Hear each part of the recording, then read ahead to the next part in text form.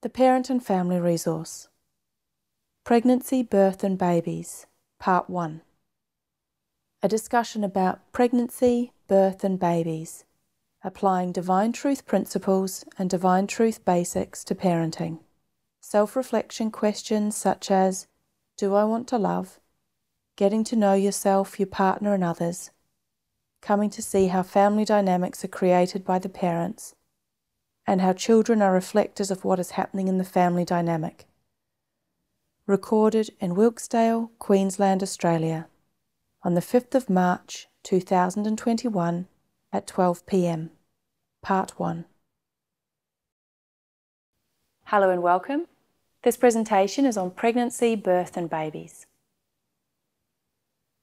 The presentation can um, apply to new parents who are, are thinking of are thinking of even having a child, those who are already pregnant or have had a newborn, also to adoptive parents and to foster carers, or any anyone really who's a guardian of a child. You might even be semi-child yourself and be looking after a, a little one, maybe you know that one of your siblings or someone else. Um, I know there's a lot of children looking after children at this time in the in their lives, and in a way, you're taking on the role of a parent. And this might have some interesting um, principles that you could apply to loving your, your siblings or also loving the, the new child or the new soul that you have um, has incarnated into to, you, to the world and who will become part of your life. I thought to start at the beginning, and that is, you know, before we become a parent. In previous videos, I've covered some information about the role of a parent from God's perspective. In this one, I'll be talking about some of those things, but also about maybe where you're currently at. Um, and that will be the focus for you to explore and find out. Now, if you're just thinking of having a child, and I, I know that um, for myself, I thought about having children, not necessarily seriously of wanting to have a child, but from quite a young age, actually. Um, from my mid teens, I was al- already thinking, yep, at some point I'd like to have a baby and I'd like to have children. So, in a way, you know, depending on if you're even contemplating children, this resource might apply to you no matter really what your age is. When you haven't had a child or looked after a child full time, sometimes we have, I suppose, fantasies about what it's going to be like, or we have ideals and concepts or um, things of how we would like it to be or how we think we're going to be.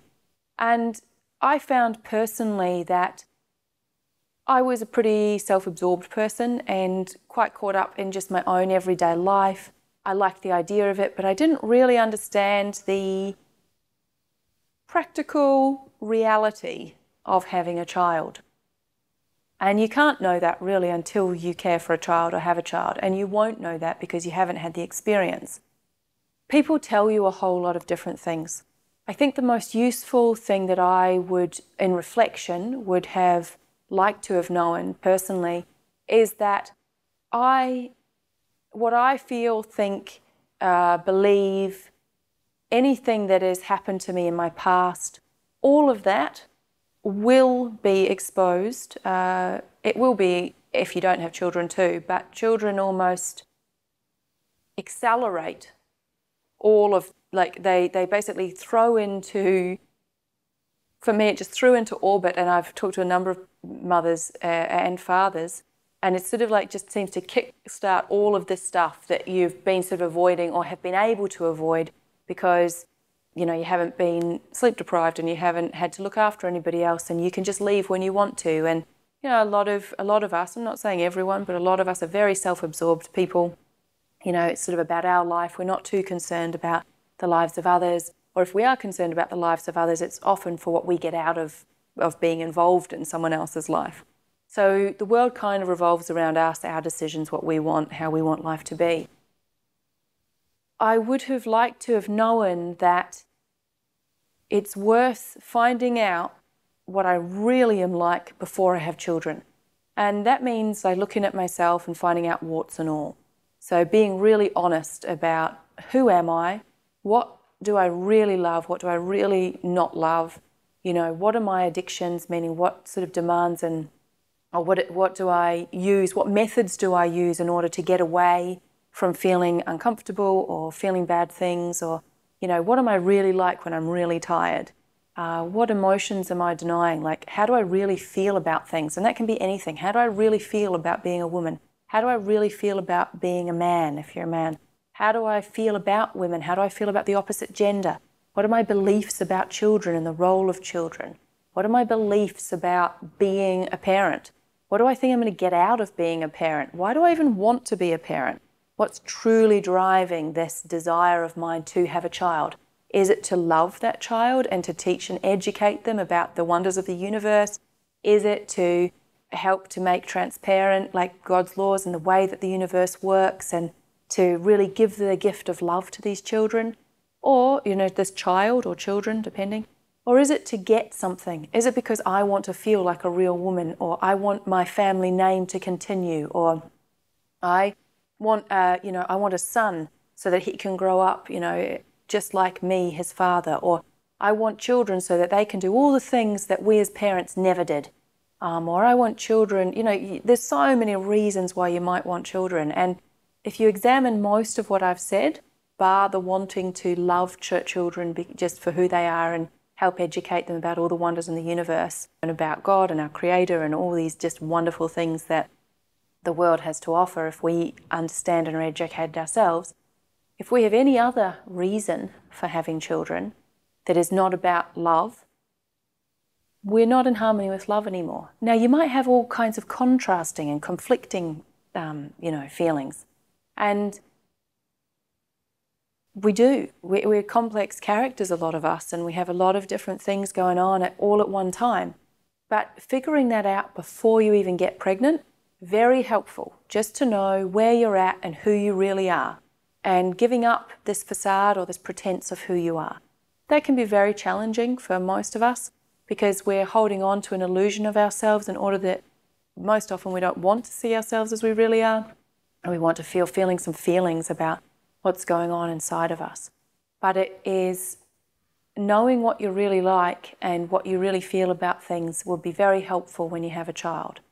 Now, if you're already pregnant and you have a child already in, inside of you, you know, as a woman and you're carrying it and, you know, and your partner, you're probably going through a whole lot of stuff, excitement, like myriad of feelings, like, you know, being really excited, but also a lot of fears coming up. Um, you know, it's unknown. You don't know what's going to happen with your body, as this is as a woman.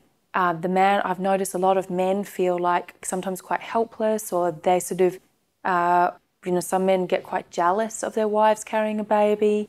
Um, they also feel like they're no longer the center of their relationship, so now there's a problem. You know, there, there's a lot of different feelings happening here. Some men also feel like they need to do more to support the woman, and the woman just wants to be looked after. Some men just vacate because it's a woman's job and they just need to deal with it. Like there's all kinds of different emotions and it'll be different for each person. If you are carrying a child, you can start looking at all of these dynamics in your relationship between you because all of those are going to play out and they're going to affect the relationship that you have and that you start creating with the children or the child who's coming into your world, um, into your life, not into your world because it's God's world, but into your life. And you know, it's worth as partners discussing openly and honestly about these different things and letting yourself feel about them. So, one of the greatest gifts that you can give your baby is to feel how you feel. Now, some women have expressed to me how they're worried that if they feel their feelings, then somehow that will hurt the child.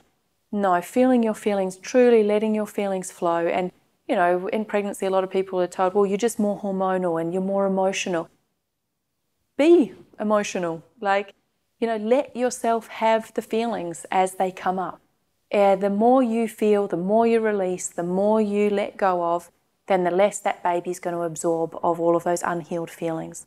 The more that you can be transparent and honest with your partner, the more you can figure out all the gendered issues and dynamics you have. And, you know, this is if you're carrying a baby, you probably might have more motivation to do it. You can do all of this before you have a child. Uh, it's just a reflection process of finding out more information about yourselves as parents, both parties, so the man and the woman in this relationship, or you may be, um, you know, both a female couple and have a parent, uh, be, you know, a, a unit of two women um, who are one of you's having a child, or both of you might be having a child. I don't know. Um, or you may um, be two men who are going to be having a little newborn baby, and who, there's so many different ways of having children now, and different combinations. So, but it's worth even if you are in a same-sex relationship, it's worth looking at your beliefs also about the opposite gender because if you have an opposite gender baby, all of those feelings are going to come up and be exposed as well in your relationship. So it's worth opening up a dialogue and a discussion. And the beauty of having a partner in your relationship is that you've got someone who you can discuss these things with and nut things out with. And if you're a single parent or you you know you're just uh, on your own, you don't have to have a partner. It's just a lovely opportunity for you to get to know your partner more if you are in a relationship. If you're not, and depending on the circumstances that has caused that, you can reflect about, you know, how you feel about being on your own and what's happened with uh, between you and your partner and what were the issues that caused you not to actually be together or maybe you just had a one night stand and or you know and, and you don't want the father to be involved or maybe you had a one night stand and you know you don't know that now the lady's pregnant you know and you've actually got a child on this earth. You know it's possibility like the amount of sleeping around that well you know has started happening i know my generation and in the next generation there's a lot of babies who have been born and or who are um, conceived a lot of now with abortion and you know things uh, well with abortion a lot of lives are also, you know, there's a lot of murder happening as well on a greater scale. And I'd take that into consideration as well if you're thinking of, of aborting a child, that, you know, you, it is a soul. It's not a physic, just because it's physically um, not necessarily completely formed, there's a soul there. And that soul actually is, if you abort a child, is caused to go to the spirit world. And it's a very um, hard road for that soul because they've had no self um, actualization to find out about themselves on the earth, and they have to be looked after specifically sort of by a team of people in order that they can um, grow and develop.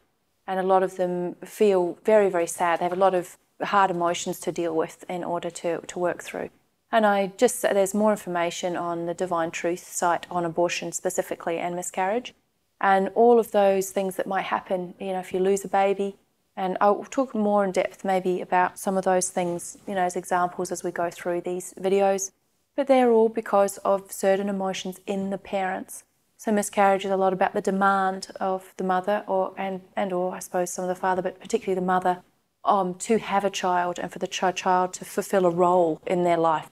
And it's just so the demands are very, very overwhelming um, for the child, and so the child it doesn't come to term um, to be born. So I realise that some of the things I say here are going to be probably quite confronting. I just suggest that you feel your, your feelings about them and search and seek more information um, to find the truth on these matters. And the more truthful you are with yourself and the more that you desire to have truth about what's really happening in your life, I suggest that you will find those truths. Again, on abortion and miscarriage, go to the Divine Truth website. There's some really good um, resources on, on exactly what happens and what's the reasons why those things are happening as well. So, what I'm encouraging to do by um, suggesting all these different questions and things to find out is really to firstly find out about yourself and who you are and what your real beliefs and feelings and thoughts are.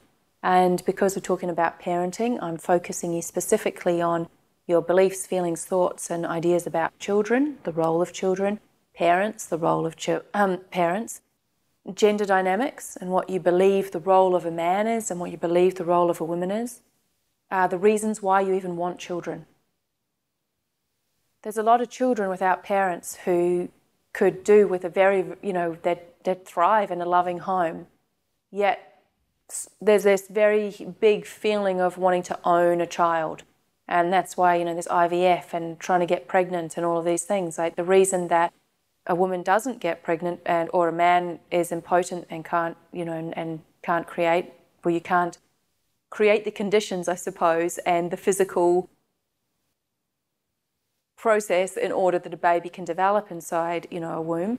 There's emotional reasons for that. I'm suggesting to be very honest with yourself about what your beliefs and demands and thoughts and expectations and feelings are towards children and having children.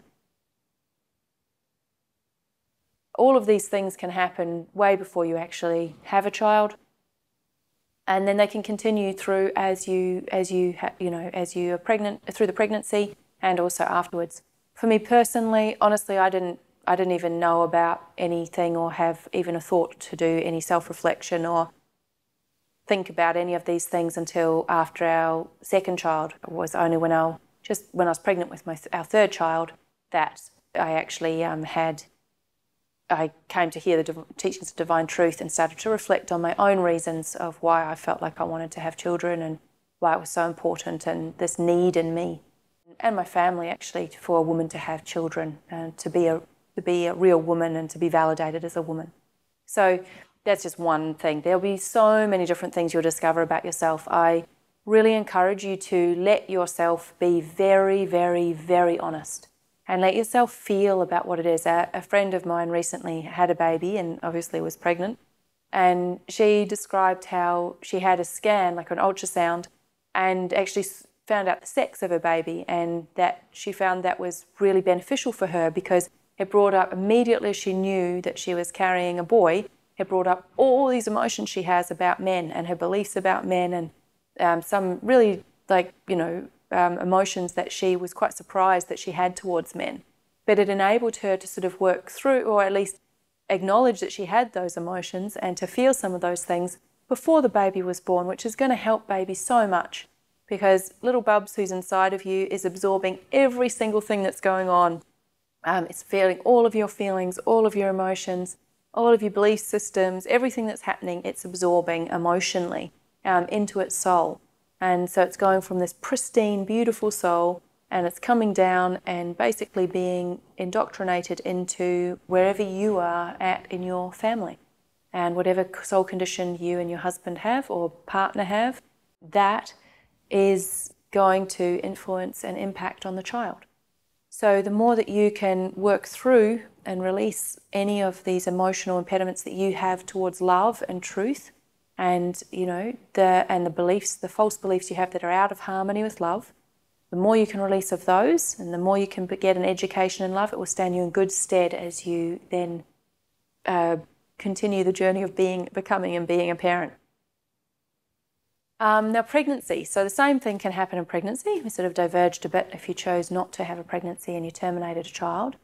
If you did that then there's going to be a whole lot of emotions that come up around that and I really encourage you to feel those and be real about them and give yourself the time and space to go through those emotions because that will help you a lot. And then, you know, you may choose to not have children after that or choose to have children in a different manner um, than you did previously.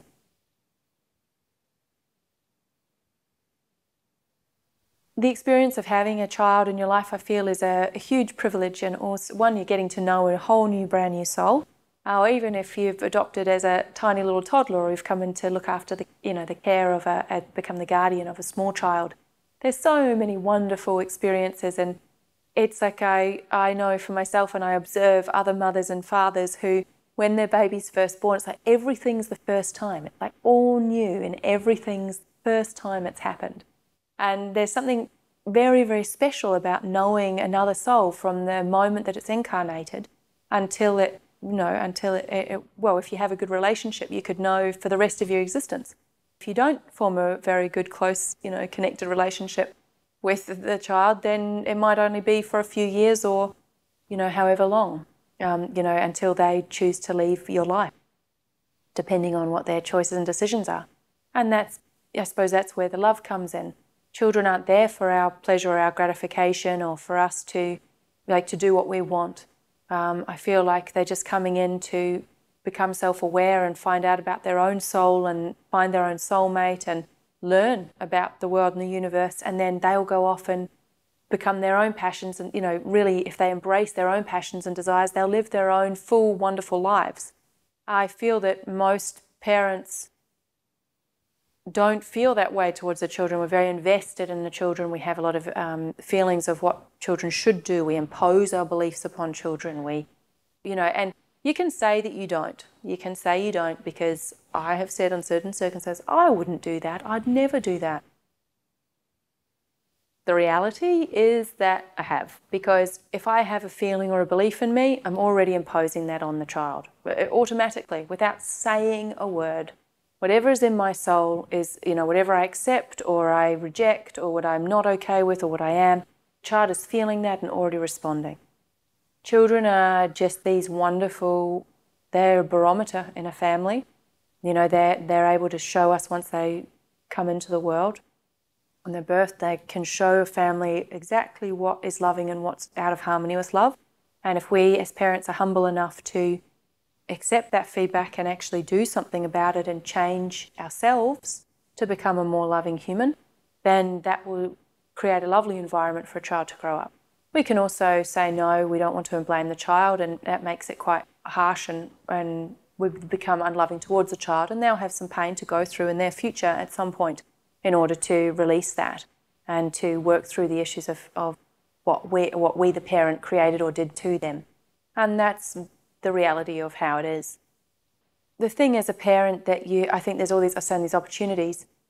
The thing that I would have loved to know myself is one to come to know and understand myself and my partner intimately, like really really know them and know myself and understand the reasons why I do things, understand my motivations, my intentions, all of those different things, understand where I actually am and measure am I really a loving person or am I not?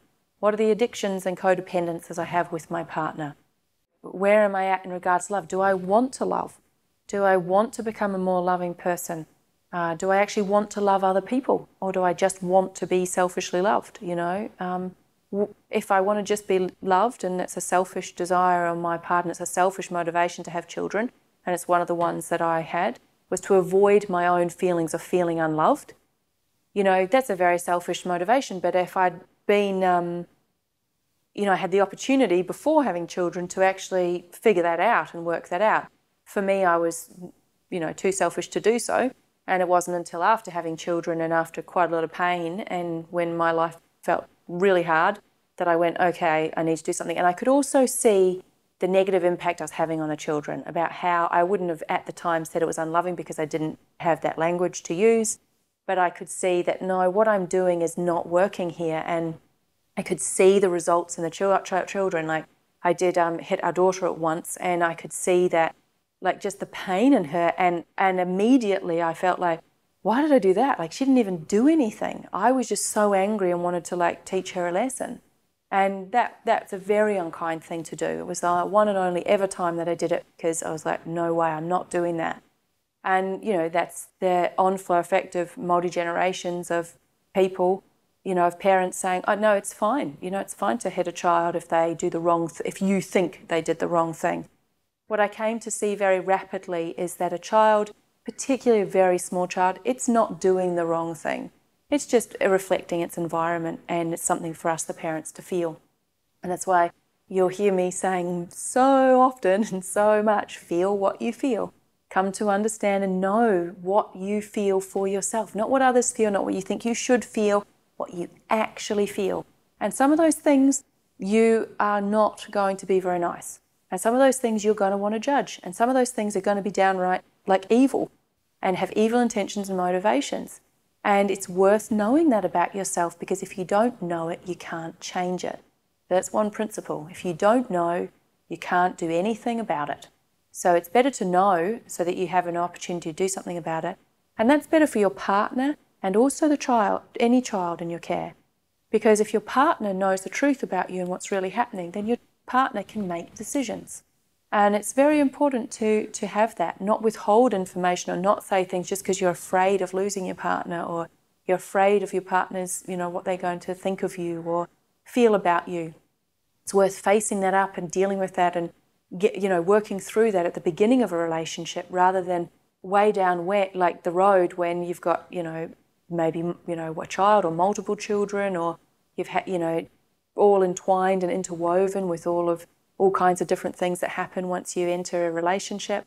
Uh, I mean, in my opinion now, from my uh, in in hindsight, it's just best to just get it all out in the open right at the beginning to be truthful, transparent. Everyone then knows where they stand. Everyone can make decisions.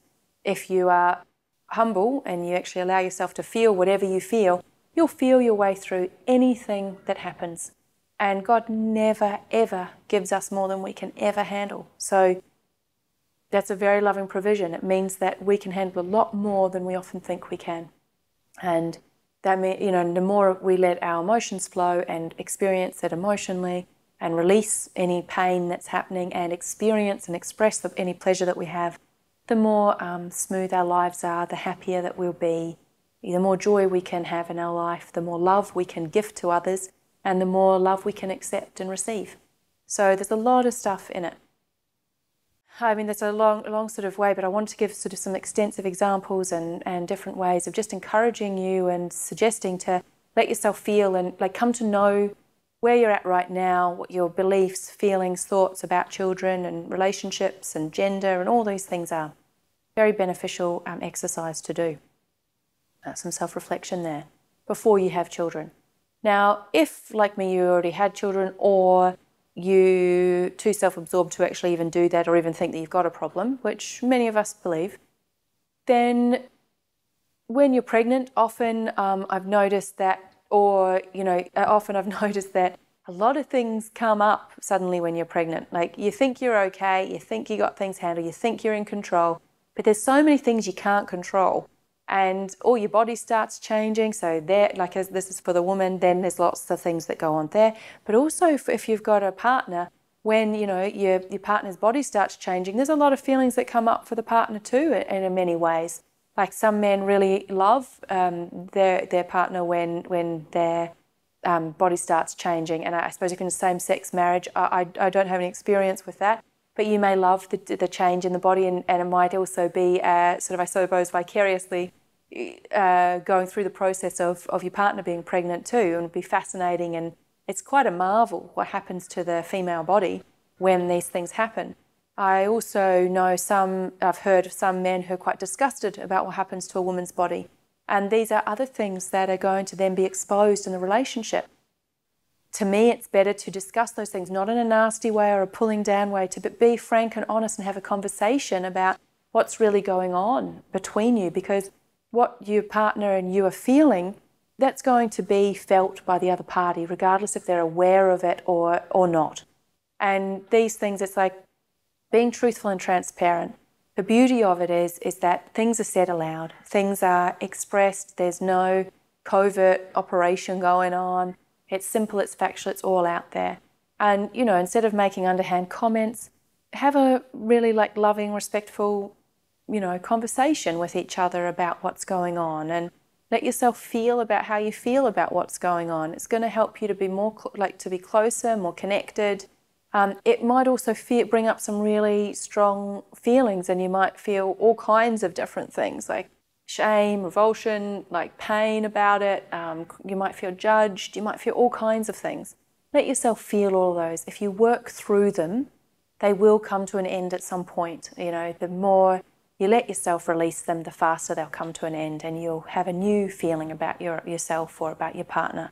But if you don't feel them, if you don't acknowledge them, and look, even if you don't have the conversation with your partner, be at least honest with yourself about how you feel about them and work through those issues. Your partner is going to feel what you feel about them. They are. So you can't pretend that they're not. There might be some situations where, I mean, I'd encourage any partnership, if you really want a close connected relationship, I do encourage you to be honest and speak about everything and, and discuss it and not be unkind to each other, but from a place of loving the other person. And that takes some soul development to do. I know at first I had no desire. I want to, well, not sure, I just had, I was conditionally love, you know, and, and is that really love? No, I didn't really want to passionately love my, my, my partner. I wanted him to do a whole lot of things for me, and I was happy to do a lot of whole, like whole lot of things for him in a barter situation in order to get things, and he wanted to get things from me that's not real pure love. And the fact is, is that if that's what the relationship is based on, in my opinion, you might as well be frank and honest and open about that from the beginning. You can then make some decisions of, and if one party goes, you know, I really want to actually have a, a more loving relationship, all of that unloving stuff, all that barter, all of that addictions, all of those things are going to have to be broken down before you know, a, a relationship can be built from a loving foundation. That's the way it is. That's the facts, and you can like pro, you know prolong that process and be in denial for a lot longer, or you can kind of just get down to business and sort of start now and work it out. And I feel that before you have a child is probably the best time to do it. But most of us are pretty self involved and selfish and don't really do a lot until we're sort of forced into the situation, sadly, or until the pain becomes so great. You know, the pain pleasure scale, you know, when something's like kind of there's not any pain, sometimes the pain has to get greater than, you know, our fear or our, our addiction before we're actually going to do anything about it. Sadly, but true. So the point is is to be truthful, transparent with your partner before and after pregnancy. And if not going to be truthful and transparent with your partner, at least be truthful and transparent with yourself. It is loving to be truthful with your partner. And if you can't discuss everything and all matters, you're never going to be truly close and connected. Like, you're not. Um, and by discussing issues with one another, even if they feel like they're really hard issues, it will expose a whole lot of beliefs and emotions and feelings that you have inside of yourself. And it's an opportunity for you to grow, for both parties to grow. As I was saying just about, you know, pregnancy, it's this transformation of a body. is a whole new experience if it's the first time you've ever done it. It's never happened before, so it's something new to learn more about yourself and for both parties. That's for them, for you know, for the partner and for the the woman going through through the the experience. Yeah, there's so many different things that change. You know, like and so many things that happen like your body expands and it widens and it stretches and you become more stretchy and you have different feelings and I noticed I thought about different things than I ever had. There was a lot of fears exposed and anger and grief exposed. I actually remembered things from my own childhood that I'd been in denial of for many, many, many years.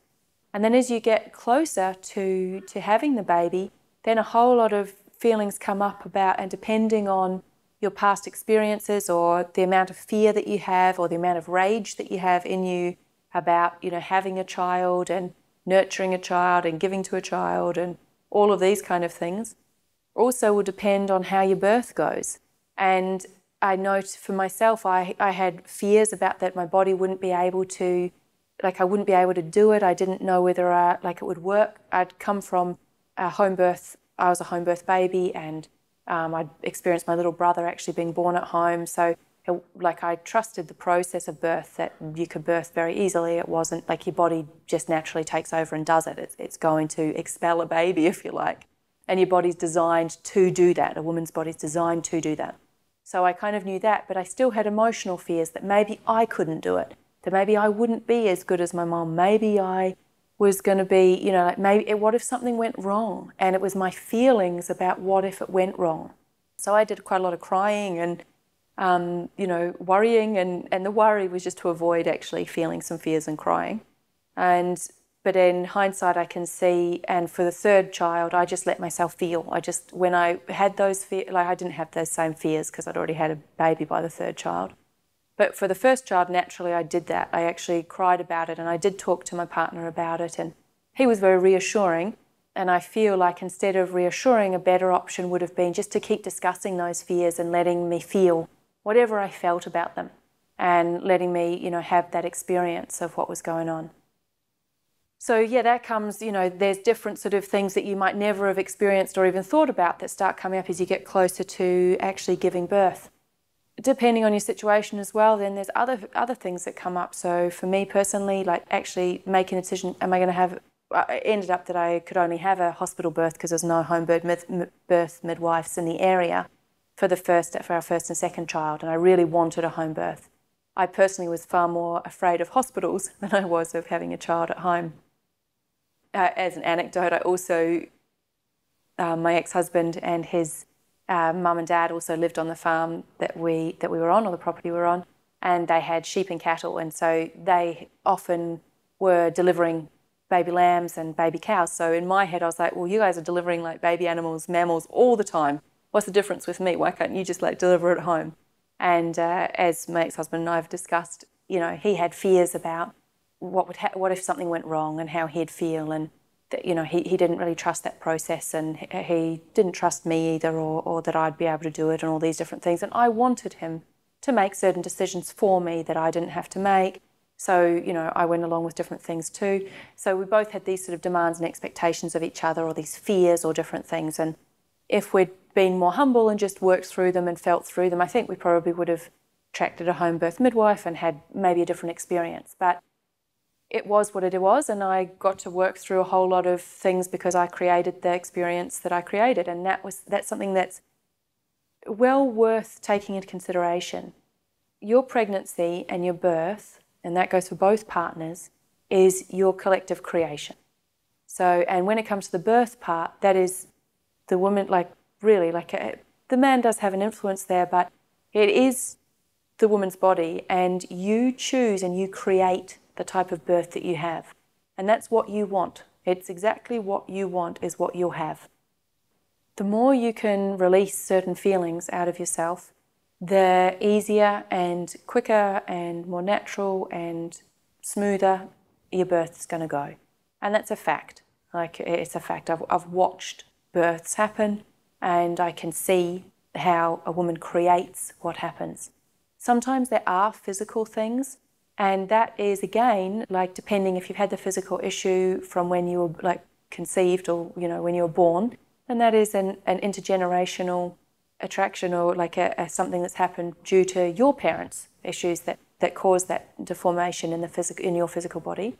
But if it's something that's happened, you know, as you grew or whatever, well, that is an attraction for you. And if you didn't work through the issues, then that issue would have, you know, happened and you know, I'm, I believe that all disease is because we are resisting and shutting down emotions. And if we actually were more humble and released emotions, then often illnesses or ailments or diseases or issues in our bodies would be healed as well. Depending on how far the body, the physical body has deteriorated, depends on how, how easily it can heal. There's a lot, man, there's just so much I could say about that, and I don't want to go on a tangent in that. I just want to be clear that the, the birth and the experience of pregnancy that you have is directly related and influenced by your emotional, you know, your soul condition and your emotions. And the more that you can release and the more honest and truthful and desire to love you have, the better that your birth and pregnancy will go. So, yeah, so via, during pregnancy, obviously lots of different things can happen, and um, I won't go into heaps of details there, but again, just anything that happens, like as I said, it's all new, it's unknown. And there's something lovely about that. I know that women who want to control things a lot, or men who want to control things, they find that process quite confronting and quite hard. I found it just fascinating. Like, I was like, wow, check out what's happening to my body and look what's going on and look how big. I also had some body issue issues come up, like of feelings of being huge and being fat and massive and things like that. So, those were things to feel about. I also found it quite amazing how, like, your breasts expand. I, I went from like having, you know, a a size bra to having like double D bra by the time um, we had a baby. So that was quite an experience to have breasts. And also like milk coming out of, of your, your breast when you breastfeed. And that's quite a fascinating thing that your body actually produces nourishment for this little person who's coming into the world. Like you don't need any external thing in order to, to feed. It's like you've got the food, you've got everything you need for that baby's um, welfare. And that's a pretty incredible design. Like, it blows my mind of, of the birthing process. It is amazing, like the pregnancy process and birthing, like amazing that literally the female body can grow another human inside it. Like, how amazing is that? And we don't even understand how it happens. Like, sure, we've got the physical aspects, but how does the soul, you know, get in there and all this kind of stuff? So there's so many things that people don't know and don't understand, and really we're clueless humans. I think we can know more, and as, as I said in previous videos, uh, you can't, God can answer any question, so we do have the capacity to know things, but we need to have the capacity and the soul development, which means to be to be developed more in love and understand love more, because the more love you have, the more you can understand and know. Anyway, and that's a bit of an aside. So, yeah, pregnancy and birth, what you've got is what you want. Um, that might feel confronting to you, but that's my experience is that, and also I feel like it is a, a truth. We create You are creating what you want right now. Which the beauty of that is if you can see what you have right now and you can understand in yourself what has contributed to the creation of what is created right now, means you can change it and you can do something different. And that's a very important thing to understand. So, what you have right now is what you want. But if you understand why the cause of why your life is like it is, what is contributing, it might be a number of things that are contributing to how it is, and you understand what that is, then you have the power to change it. And you do on your own. So you don't need anyone else. Um, I do find a relationship with God very helpful, but you can do this and change yourself if you understand what is truly going on, if you understand the cause of what's causing where you are at right now. That's why it's so good to understand and know yourself and be truthful. Now, once you understand the cause, now you can change it. That is an emotional, soul based process, and it will not change if your soul doesn't change. That's a fundamental principle. the only real change is soul based emotional change. Won't change otherwise. You can try physically, you can think it, you can use positive affirmations. None of it's going to work unless you make a soul based change. So, again, back to how important feeling through your own emotions are, how important it is to be truthful with yourself, how, you know, and having a desire to love is going to help you to, to work through various different things. If you just have a desire to be loved, you'll just be a big demand on your environment, and lots of people in the end will probably not want to hang around you much because you're so demanding that they do all these things for you and you don't want to do much for them. Or you only do it if there's a barter system, so you'll attract people who, who are happy to do that. It's not a very fulfilling or, and it doesn't make for close connected relationships. All right, so we've sort of discussed a bit of pre-pregnancy and things you can do to understand and know yourself, which why I suggest that is to it will stand you in good stead for when you actually have your children or have any children that come through you. You can notice I'm saying have your children. They're not your children, they're God's children. Um, they're merely your, you know, someone who you're going to be the guardian of and a potential educator of. Well, you're going to educate them. It's just whether or not you choose to educate them in a loving manner or an unloving manner, and that will choose on depend totally on your choice as a parent. There's a lot of responsibility as a parent. I don't think that many of us consider the responsibility that we actually have Sometimes we do once we're confronted with certain things that happen in our lives, but many of us just think that it's really the child's problem. And I'm here to say that no, we set up and we create the initial, we create the environment that a child comes into, and what a child is like, particularly when, you know, is is our creation. When they're very small, they're just reflecting us, our unhealed emotions, and us meaning, you know, the parents. Um, I kind of say us and we, meaning you, the audience, and myself, and I'm talking about collectively as parents. So I'm sort of using those personal pronouns. And when I say you, I'm talking about the royal you, you specifically, me, and everyone else in the world. So yeah, the collective um, emotional condition creates, you know, and the environment that that child comes into that influences a child. And I feel like as children grow, I've created things in them directly. I've created certain feelings in them, certain ways, and they act out of those now. Their dad has created certain things in them and they act out of them now. Um, the dad and I together have created certain things in them, either by allowance or by active um, encouragement. You know, we have created certain things in those children and until and that are unloving. They're out of harmony with love. Now, if they were all loving things, there'd be no problem with it. We'd be great parents. But we're not. we didn't do. We didn't choose to love the children. We we wanted a lot of things from the children, and we had a lot of high demands and a lot of expectations and a lot of um, shutting them down emotionally and sh- shutting them down their desires and teaching them untruths and teaching them things that were unloving. That was our responsibility. Me and my partner's responsibility. We did that, and the only you know there's compensation for that for, via God's laws but I also now feel after, you know, I think really for the last sort of five years, I've been really sincere about this process. It's taken me 11 years sort of consistently getting, doing things um, and sort of growing and learning and coming to understand things. But I really feel like the last five years, I've had this real feeling of like, no, you know, this growing feeling of like, I need to correct the damage I have done. I must correct the damage I have done because I can see the wrong that I've done and I can see how it's affecting the children's lives. Like they're becoming young adults and they're acting on things that, you know, are going to affect their lives for the rest, you know, for the rest of their existence unless they make a different choice. So while they're still in our home and when my in my home, because my uh, ex-husband and I are separated or we're divorced, we don't live together anymore. So while they're in my home, I still have the opportunity to, to educate and to re educate and say, look, what I taught you is wrong, guys. It was not loving. And this is what is loving. And then they at least have the exposure to make a choice of what they want to do now.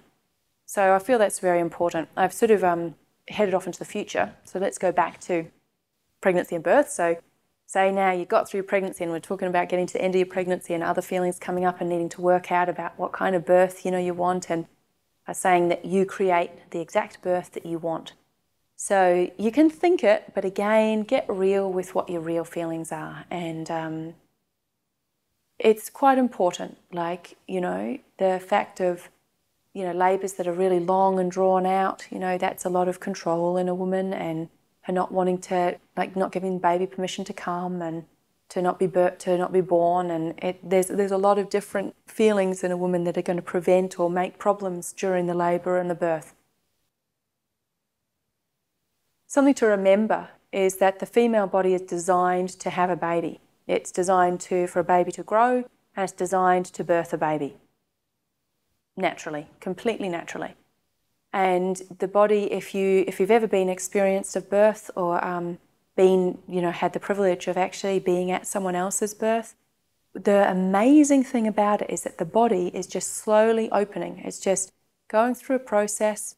So you have what they call like pre-labor, and then you have like active labor, and then you have, um, you know, transition and birth. And I, I'm, you know, I'm not like up with all the technical information, but the pre-labor is sort of like the it can sometimes last for weeks or days, you know, where the body's just like slowly, slowly opening and your cervix is dilating, which means that just opening and just making room so that it's big enough that the baby's head can fit through. And that's like just opening, opening, opening, opening. Once then your cervix gets to about four centimetres, um, then between four and 10 centimetres, that's sort of what they call active labour. Now, if you're in a hospital, if you don't um, if you don't progress, sort of basically, it's about, I think, from what I understand, it's approximately like a centimetre, sort of an hour, or they have basically a timeline of how you should be dilating. And if you don't do that, then they often there's interventions and they will, you know, try and help baby come, often for the safety of the baby, sometimes out of fear of different things. But you don't need to have all of those inter- interventions if you deal with why you are not wanting your baby to come out. Like really, it sort of feels that simple to me because your body wants to expel the baby. When babies, you know, when you, it's like the body. If you just left the body and there was no emotional um, interference, the body would just um, open. It would go through its process. It would just slowly open at a speed that was, you know, um, able to to be to be done by by by the body. Now, I've heard of women who have literally had a baby within two hours. The whole thing, like done um, the baby comes out and they've really trusted their bodies. They know that they have birth. They've literally had birth at home um, because they didn't make it to the hospital. They weren't worried about it. They didn't have any fears about it. They didn't have really any preconceptions about it. And the baby could just come out. So that is a possibility. It's possible. Most people's labour is longer than that. And but the process of actual the physical opening of the body that's a natural re- response and it's the body's design the body is designed to do it so your body wants to do it, it's doing it. And even when you have all these emotions going on, your body's still opening up. What I have found via my own experience and also having the privilege of um, having uh, the experience of actually being at a friend's birth as well, well, friend's baby's birth, um, and, her, and their experience is that they created, she, she created the birth that she wanted and she was controlling, she didn't really want to have baby, she had a lot of feelings, but her resistance and her anger at actually allowing the birth process to happen for all kinds of different reasons. She had like all these different things going on that actually prevented it. It made it exceptionally slow labour, and it prevented baby from just from just coming out. And it was just so fascinating to watch the process of how you know, like every woman's body is, every woman is capable, competent. Their body's already made to do, to have a baby. We're designed to do that. But our emotions cause the experience that's had. It actually influences so much, like what happens. It stops a labour, it starts a labour. It, like some labours I've, I've always reading about, and the cervix actually opens and then it dilates again, like it actually closes off again. Now that's an emotional response. Like I know for me, I was in like active labor, like labor was going, going, going, progressing, progressing. Got to hospital, everything stopped. Like no contractions, nothing. Like it was just over. Like I was like, no. And the midwife said to me, she said, well, what's going on, Eloisa? She, she's got my face. And I just started sobbing. I said, I don't want to be in hospital. I'm scared of being here. I don't like it. And I just, and she said, well, just, and she just let me feel that. I don't think she even said anything. I can't even remember.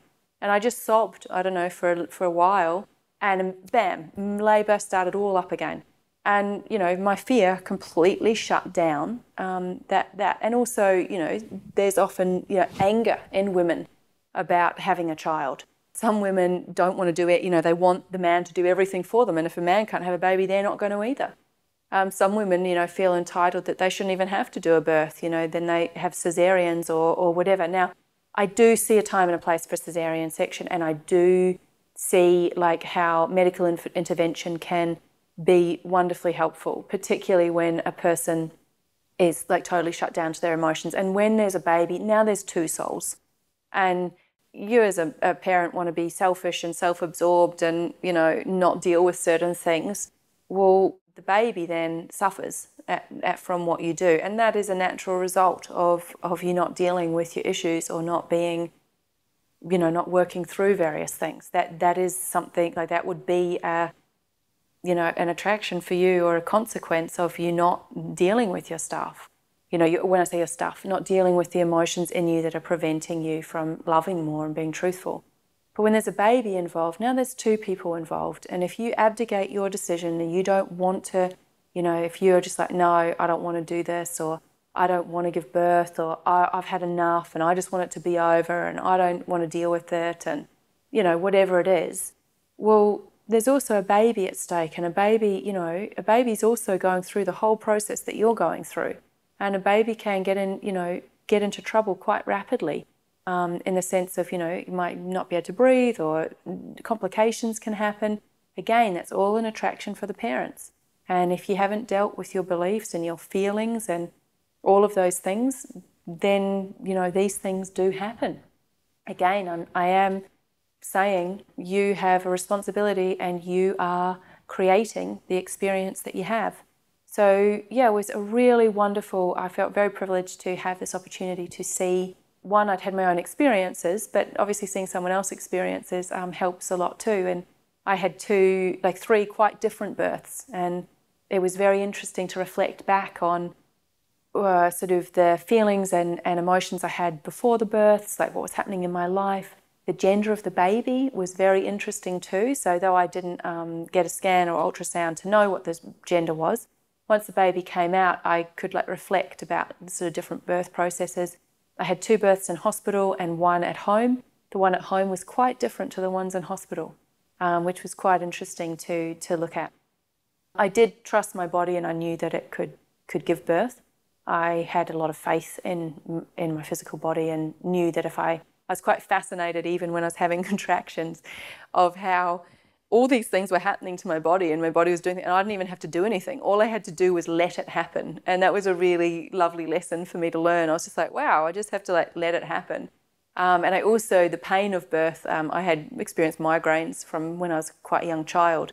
And I just remember saying to my husband, I was like, yeah, at the time I was like, this is so much better than a migraine, like because it's an intense feeling for you know, and there's and there is like some physical pain at times, but it's gone, and so you get this rest time in a way, and it's I suppose it reinforces this lovely feeling I have with God of like how God never gives us more than we can handle, and it's sort of like the contraction would take you to sort of almost the point of overwhelm, and then it would sort of like give you a bit of a, a reprieve, and even you know when the baby actually is birthed it comes out and it, there's like a, it's, quite a nice feeling actually. Um, some people I don't know if they experience that, but it was it was it was it wasn't a hard it wasn't hard in any way. Um, yeah, it was quite quite a a very novel experience, but uh, quite a pleasant sensation too, not, not, not unpleasant.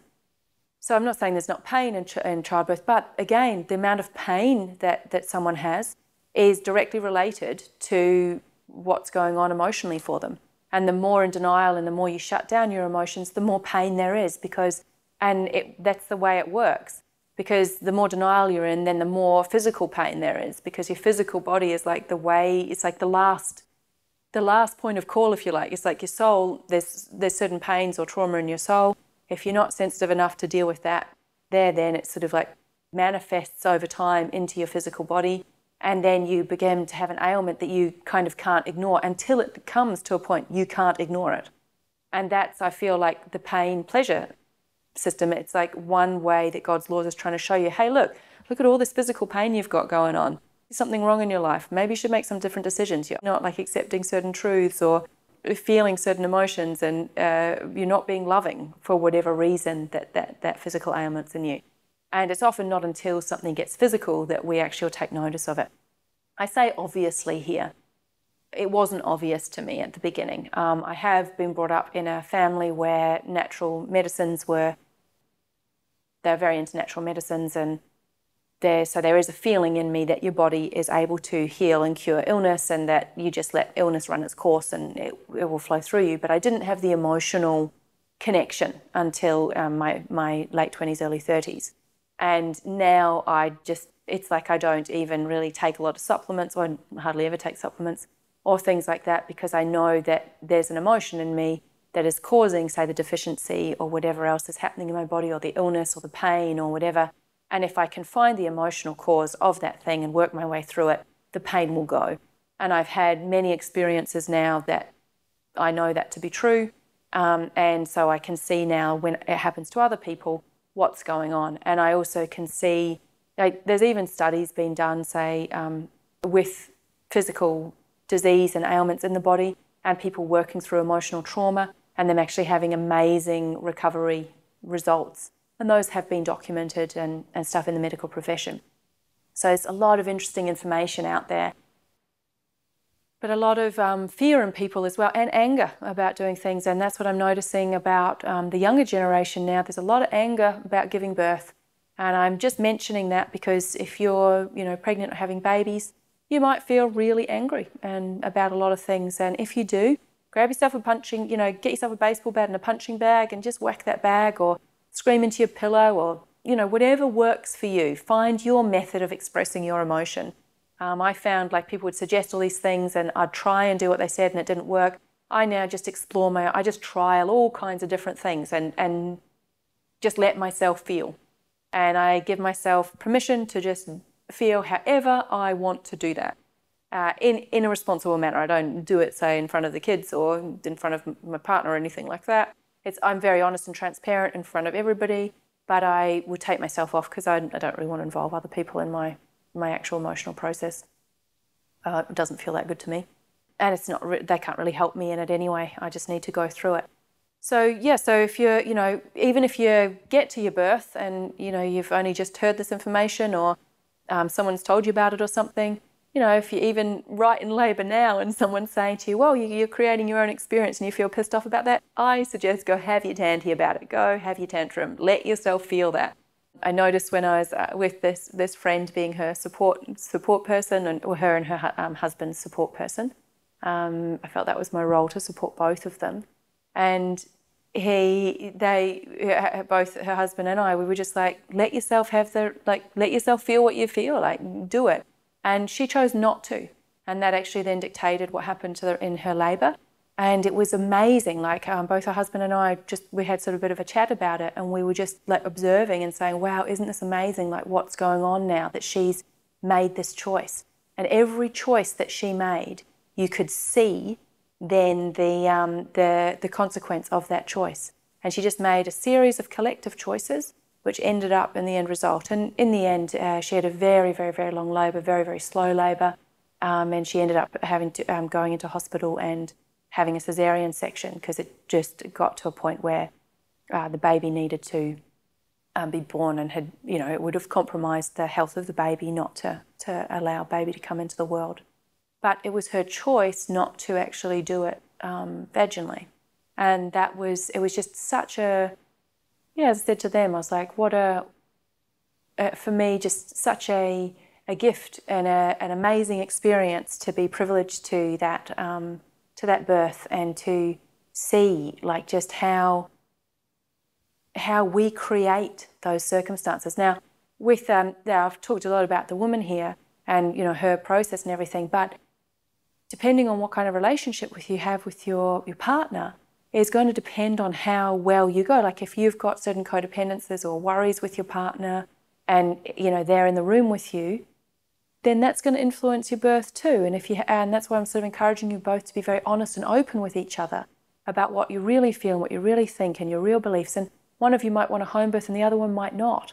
Now, you need to discuss these things before you have a, a baby, you know discuss them, have them out, have the conflict. Um, I don't mean like be really nasty to each other. I mean, raise the issues, let the conflict happen in the sense of you let yourself feel whatever you feel about that and your partner feel whatever they feel about that. And then go away and work through those issues and then come back and discuss them more.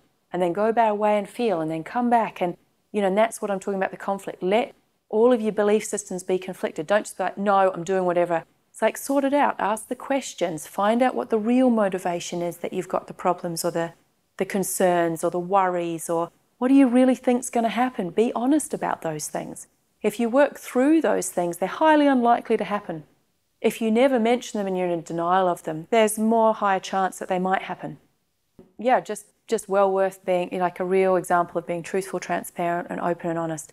It also is the best thing that you can do for your child because then you have the least um, the least amount of suppressed kind of emotion is going to be heading your child's way, and your child can then um, not be impacted or bombarded by all of the denial that you have going on. Because remember, any denied emotion or unhealed emotion that you have with inside you, you know, your child is going to reflect back to you. That means the child is experiencing that, like they're feeling that, and then they're responding to that um, in order that you have the opportunity to grow in love.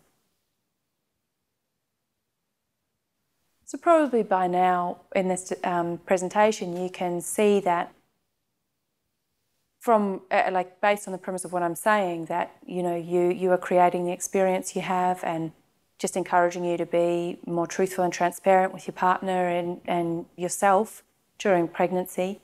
And again, you can do this alone or if you've got a partner, you can do it either way and also you're going to create the situation and what the attractions that are going to happen. That also goes for any midwives you have and the doctors that you attract and all of the things that are said to you. If you're humble to just taking, you know, reflecting on yourself and when you get certain feedback or information, how do you feel about all of that information? What are your real thoughts and feelings on it? And you let yourself work through the feelings you have. Um, it's amazing what happens. Like I've had friends who have had illnesses or been with babies and they've had an experience at first, say, with a, a midwife, and it's been quite um, confrontational. They haven't liked it, or they've gone, "Oh, I don't like that at all." Sometimes that you know felt felt some things. Like I know for myself, I there was one midwife who I met who I um, went home to my ex-husband and said, "No, I don't." I don't want it. I hope she's not at the birth at all because, and she was telling me about all these intervention processes and all these things that would have to happen if certain things happened or didn't happen, and how I should be going to an obstetrician and I should be this and I should be that, and all of this stuff. And they were all things that like sort of freaked me out. And I remember just crying, crying, crying through these things and being all worried and upset. And it was really interesting because um, when I first got to the hospital with her first child, and we had a set of midwives who were really lovely. They were just so supportive. They just said to um, uh, my mum was there at the time, and she said afterwards to me, she said, "Oh, oh I think actually my my ex also said it as well. Said they just said, "Oh, this this lady's fine. Like just let her naturally birth. Like she's she doesn't need any any help. Like it's going fine." And anyway, they had to swap shifts, so their their shift came to an end, and they left. And in walked this woman who I'd had all these conversations with, and she'd been the one who was telling me all this stuff that I'd felt terrible about and all these things and she was amazing. She she was so wonderful. Like it was like she was a completely different person, or really, let me say, we had a completely different experience with her because no longer did I have all of these. Um, like feelings in me towards her or about the things that she'd been talking to me about. And I also knew, like, you know, now that it's sort of birthing, I was sort of confident and it was all going all fine and things like this.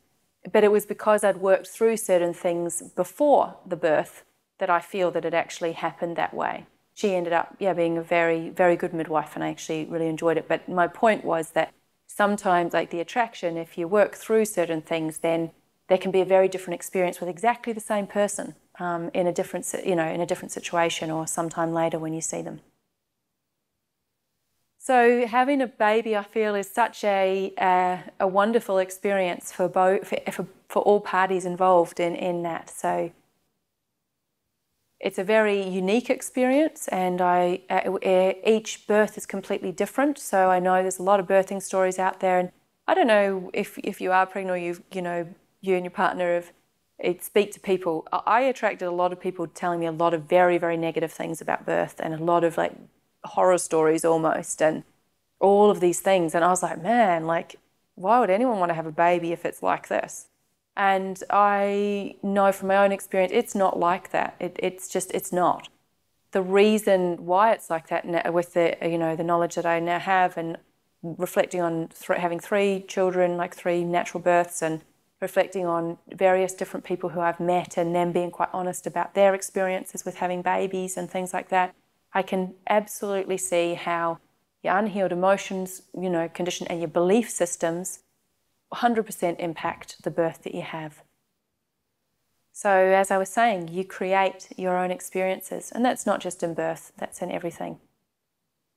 So, you're a partnership with you and your partner, and there's a little soul who's going to come into the world if you're, if you're, having a, if you're pregnant and having a little baby. And for the best interest in Bubs, deal with your own with your own issues. You're the parent, you're the responsible one, you're the one who's got some information about the world. You know, you're the adult in this relationship and you're the parent in this relationship. And I do feel it's a responsibility of a parent to deal with anything in them that's out of harmony with love so that they don't pass that on to the gener- next generation. sometimes we don't take up that responsibility and we choose not to do that and we choose not to love. And we have the free will to do that but do understand that there's a consequence on the child when we don't do that. And that child is then left with a legacy of emotions and a legacy of belief systems and a legacy of all kinds of unhealed emotion. And, well, you know, basically we dump a whole, it's like kind of like taking a massive backpack of our rubbish or all of our collected unhealed emotional experiences that we never felt when we were children and then we've acted upon those and then we've created more things and then we've made decisions and then we've taken actions. And all of that stuff we, we keep with us and we haven't released that emotionally. We haven't made the change. We haven't let it flow through us and we've just kept acting kept acting to, to where we are.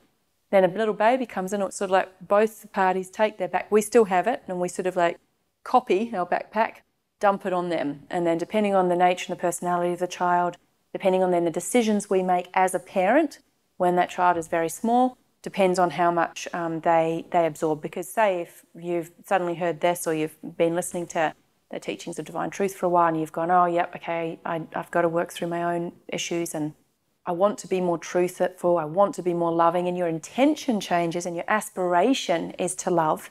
And a lot of good things can happen, and God can help you in that space. And um, you know, there's beautiful spirit influence that can help you and your baby um, in, the, in those positions. You know, the power of prayer is a very, very powerful, beautiful, um, beautiful gift that, that we have, and uh, a wonderful mechanism that we can use in order to connect with our Creator and also to help us to learn more about ourselves and become more loving and more truthful people.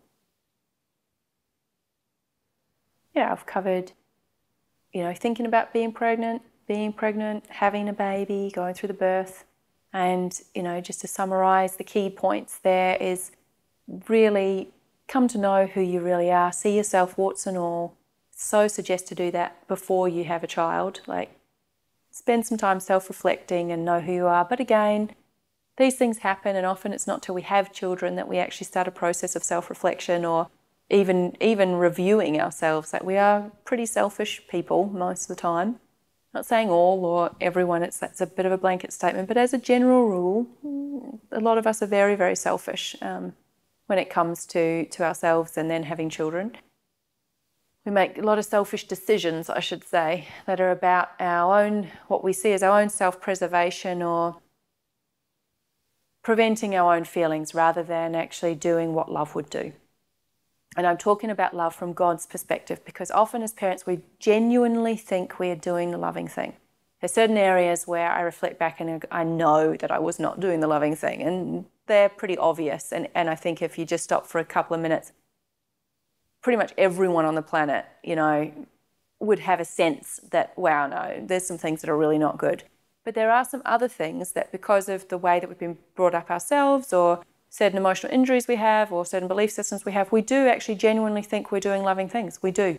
We've been, we, we feel like they are. But this is where, you know, learning, getting an education from God's perspective about what love is comes to put into perspective of, of what love really is. And you can have personal truth and how you feel about something, and your partner can have personal truth and how they feel about something and what the truth is of what's happened to us in our lives so collectively. But then there's God's truth. And God's truth is, for me personally, what I want to aim for. And that's always what I'm aiming for. I, I don't claim to be there all the time, I don't claim to understand it all the time. I'm just learning and I aspire to that place because that's the absolute truth of something and that can help you to know is it loving, is it not loving. So if you've got God's truth and you're both working towards God's truth, that means your partner and you working to God's truth, then your aspiration can go really good. Now, you might just have one party wanting to do God's truth and the other one doesn't want to do anything at all. That's still going to help the child. Um, obviously, the child inherits eh, things from both parties. So if one party doesn't do it, then they're going to have issues from that party. But you still can have a positive influence even if only one party is seeking for that, that absolute truth from God. Um, I feel that in relationships, the absolute truth is really what, if you aim for that, then so many things get sorted out automatically. It's when we get all defensive about our own, you know, holding on to what we think is right and being righteous about what we believe and what we want and what's right for us and how we're being hurt and all this kind of stuff um, you know, playing the blame game, you know, making it someone else's problem, not wanting to take responsibility. Those are all the issues that cause a lot of pain and suffering in a relationship. So the more we can work through those, the better it becomes. So then that brings me to newborns. If you've been through the whole process of conceiving a child and then well, having sex and then conceiving a child and then going through pregnancy and having a baby, then now there's a newborn. Uh, you may have just adopted a little newborn or someone who's very, very young and new to the world. Or you may be just looking after someone's as a foster child or there's many different different ways that you could be um, involved with a little newborn life and child. So if you're at this stage, then there's um, the same principle applies of feeling your emotions and being truthful and transparent and do you desire to love and measuring everything you do really against those things. Now, a little newborn, because now they're out of the womb, they're now going to start expressing themselves and they're starting to learn things and absorb things from the world like they've already been absorbing while they're inside um, a mother's um, tummy and they've already been absorbing everything from their environment anyway but now they're outside and so you know they've got their own body and everything's new for them it's like this wonderful newness of i, I feel it's such a such a wonder. Like I understand like why, you know, people just watch their little like their babies just for hours and hours and hours. And I know for for, for us, I don't think it was all loving. but there was but parts of it were just it was so fascinating. Know, I was like, oh look at this, look at that, look at that. And I remember when the baby has the first meconium sort of poo and it's like, you've done its first poo, you know, and the and having a wee and you know, got, got on us, and everyone's like, "Oh wow!" You know, if, if an adult kind of weed, and you'd probably be quite disgusted, but it's like the first time that your child's had a wee or whatever, its body's working. It's a wonderful thing.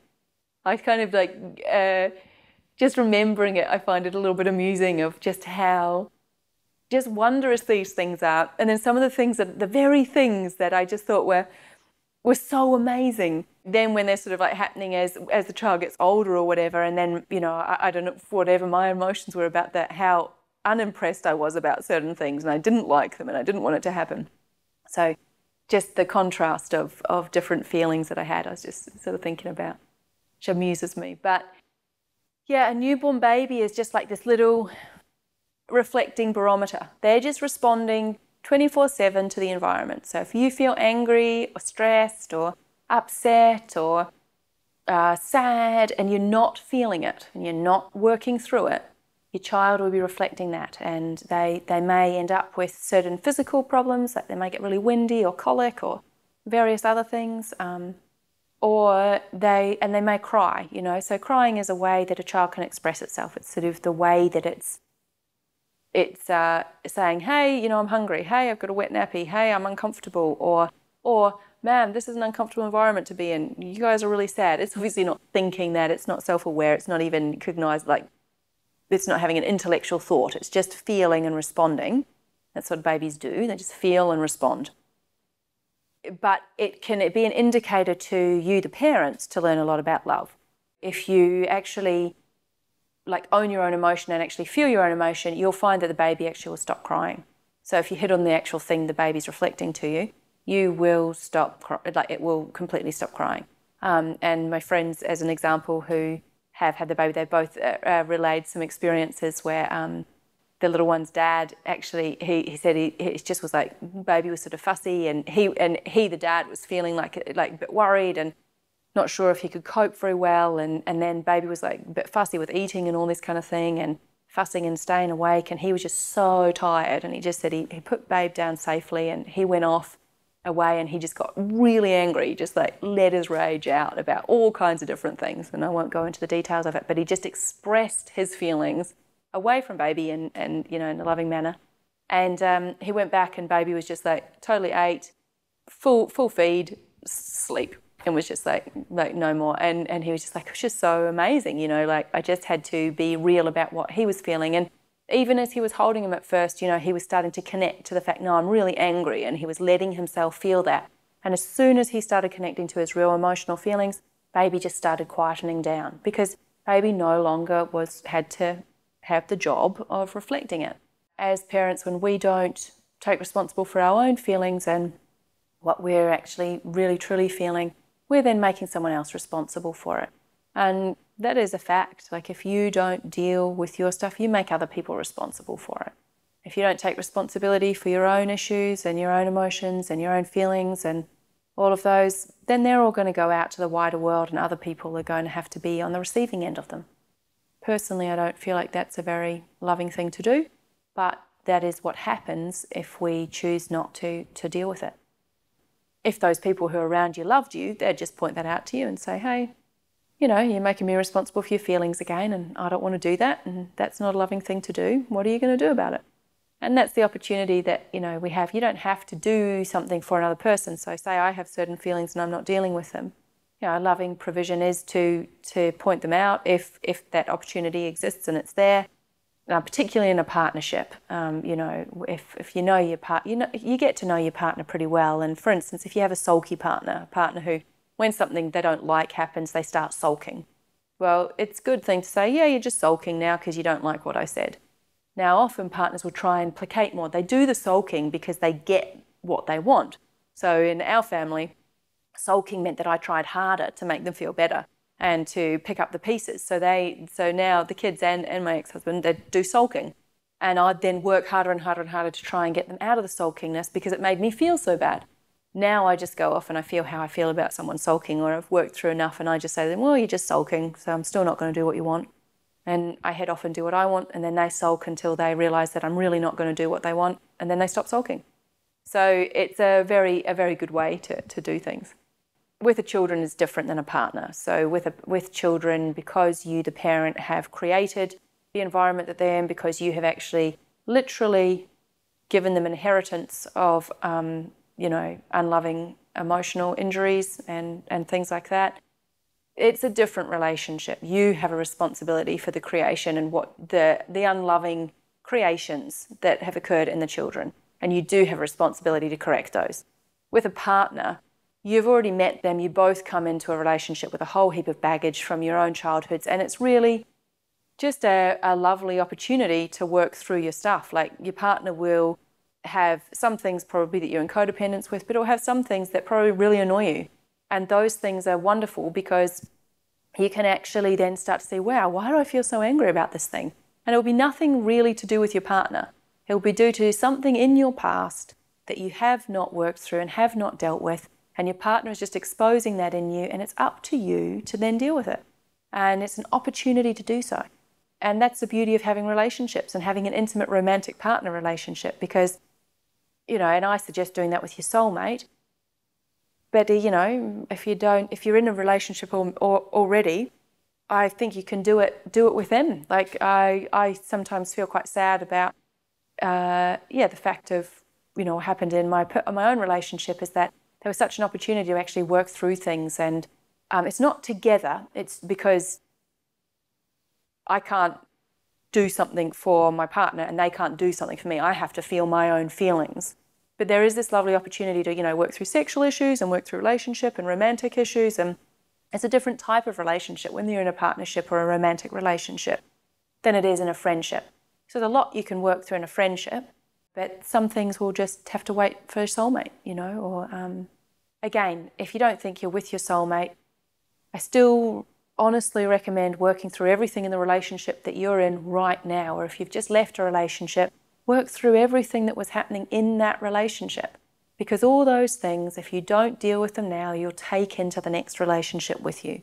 And that's, it's sort of like, you know, we're talking about the, uh, in another presentation, it's like this glass half full or, or pouring in emotion, and you have to pour out emotion in order to be able to accept or receive new truth and, and accept and receive love and or well, God's love can actually pour into you, and then it will also expel the error that, through an emotional process.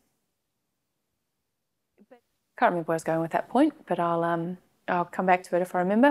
As a newborn, you'll also you have new things happening, like having milk and coming through your breasts and feeding, and all of that will bring up a whole lot of um, feelings as well. I know the different gendered children.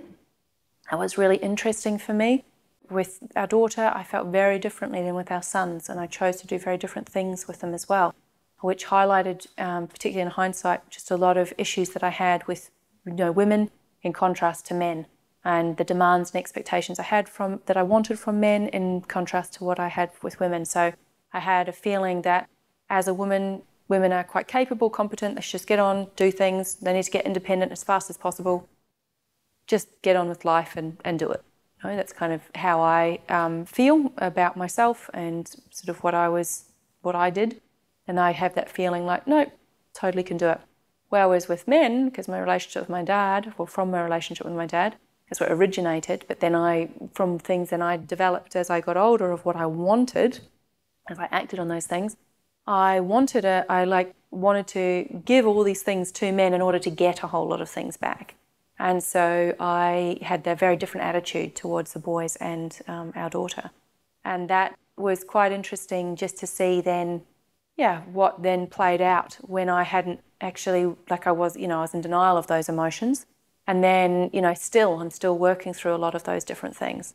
I know for me, I had um, mastitis with when with our first with our first child, and I feel like a lot of that for me was about rage of actually, you know, feeding our child. And I definitely had some anger, about like a lot of anger actually, um, to, that I hadn't dealt with before having our child, and that was then, you know, our poor, our, our little daughter had reflected that back, and she also was absorbing all of that from me because I wasn't dealing with that in a very in a very loving way. So, yeah, that's like an inheritance that now she's got, and I realised that that was not loving on my part, and I'd like to correct that as I, I go ahead. But all of these things influenced what happened both to my body physically and also then the interaction, you know, the interrelationship with my ex-husband and I, and also our relationship with our with the, children who came into our care. And yeah, like having children just throws everything under the microscope. Like, but if you don't want to look at it, you know, all kinds of things happen. Like I feel like that's what postnatal depression is about is I feel like I had that with some of our kids and I feel it's that it's just the suppression of emotion, not wanting to feel what comes up and you know, wanting just to suppress down all the emotions that are exposed by this little person who comes into your house. And you no longer have sleep and you're really sleep deprived. And you know, sometimes, you know, you don't necessarily care for yourself that well. And all of the, the things in your relationship that were already not very good, but that you could kind of skip over before you had children, they all get exposed because now you're tired and you both, you know, sometimes you both don't want to get up and do a feed or, you know, you don't want to change, and your partner might not want to change a nappy or you might not want to change a nappy and all of these, uh, like your, your angers and your sadnesses and your fears and all kinds of stuff comes up.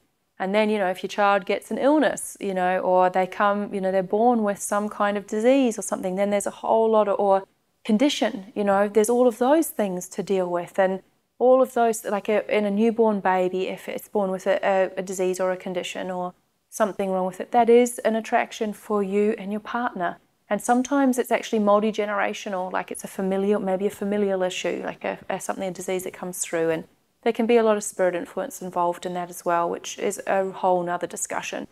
All of these things, you need, if you take some, you know, look at yourself and take some responsibility yourself and look at, okay, what in me has created this?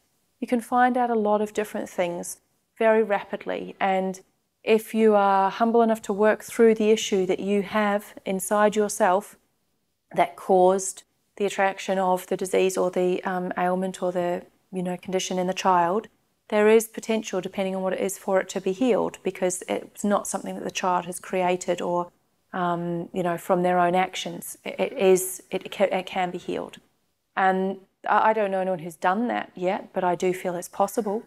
Yeah, it just depends on, on the humility of the parent and the, and not just that, the desire to love uh, um, and to actually know what's going on.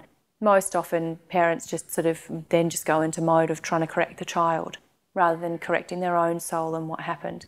I know for us, you know, our kids had a lot of childhood diseases such as, you know, whooping cough and they got a lot of colds and, um, and sort of infect, chest infections and things like that.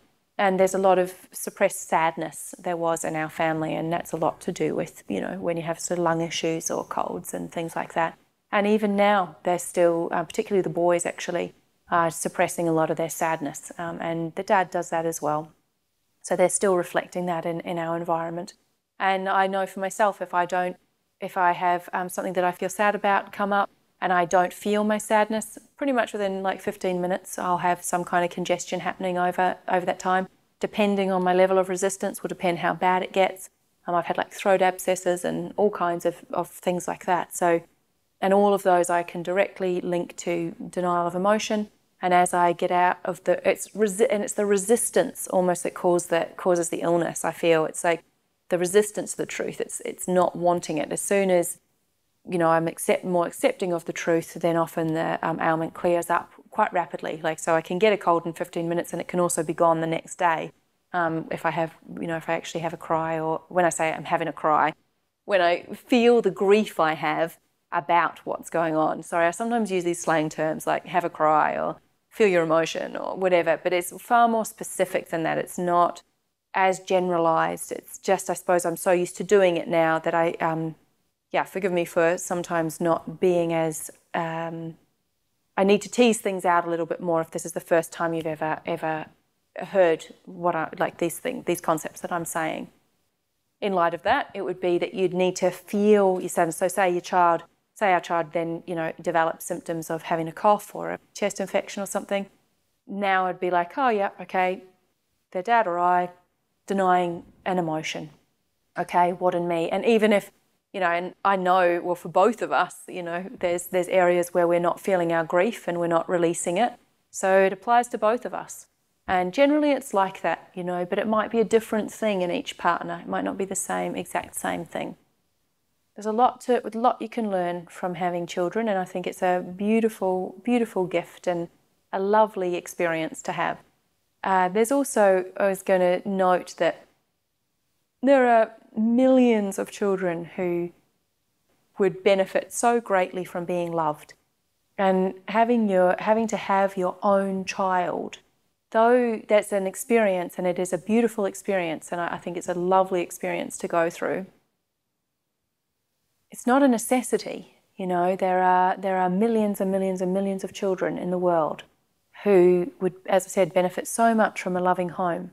And if there's the opportunity to look after someone else's child rather than your own, you know, maybe that's okay. And I, I feel it's like, you know, if you have a child and I mean one, you do have to ask yourself the question like if if we're going to have sex, there's a potential of having a child.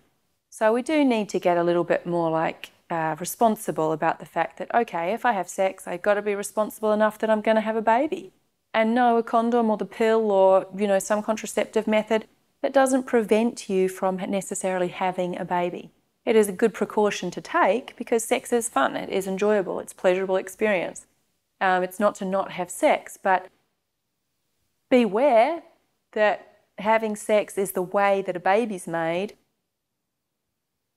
You could have a baby, and that is your responsibility. If you're responsible enough to have sex, then you need to be responsible enough to have a baby.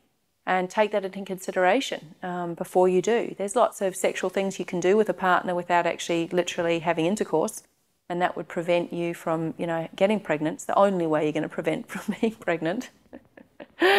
uh, so it's all fun and games while you're having sex. It's all another story when you start having a whole lot of babies.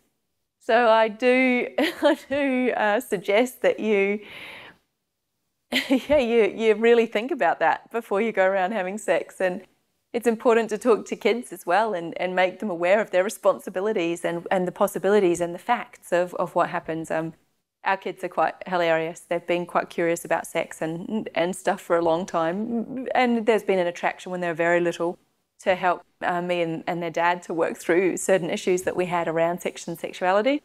But also, yeah, just sort of exploring. And I, I find I'm not so worried about talking about sex myself. And so we've had some really great conversations, the kids and I, about it because they've obviously read. Um, I've had sort of certain books um, that I've you know had, and they were looking through my stuff once and found a book on orgasms, and on I think it was called the female orgasm or something, and they were like, "What's an orgasm?" And uh, so I explained to them what it was and, and said, well, why don't you look it up? And then they found like, you know, other words like contraceptive or condom and all these other things. I'm like, what are those? So I got them to look that up as well on the internet.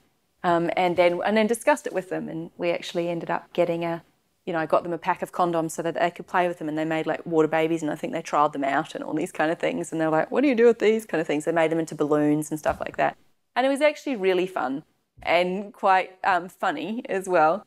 And they were quite like just adorable with what they did, and they ended up making condom babies, and so they filled them with water and then got a little tea towel and put them in a little bow, um, in a little basket and sort of like took them round places. But what was quite lovely about the experience is that they don't have, I know they don't really have much shame now about you know condoms, and, and I hope that I hope that they don't get any as they get older from their peer, peers. Um, and they also know you know that it's contraceptive, and they know the facts about about what's going on. And the natural curiosity led them to, to that, which was quite which was quite lovely.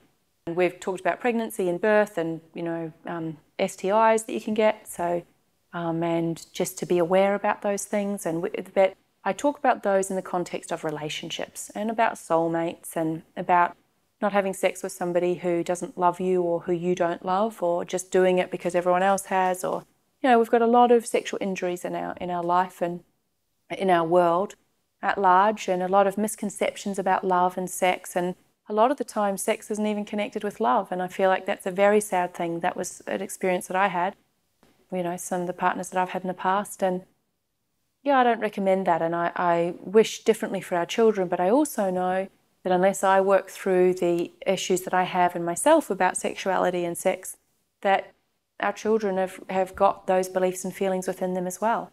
And so I do find it fascinating talking to them about relationships and I've asked them about, you know, who they think their soulmate is and do they want a soulmate and, you know, what gender they think their soulmate is and what kind of relationship they think they'd like in the future and how they'd like to um, interact with men and women. And some of the things they say are quite enlightening, they're quite interesting. So it's what um, I suppose I'm saying, you know, you can talk to children about these things. It doesn't need to be a graphic, explicit um, sharing of all your intimate partner experiences. I'm not really into that.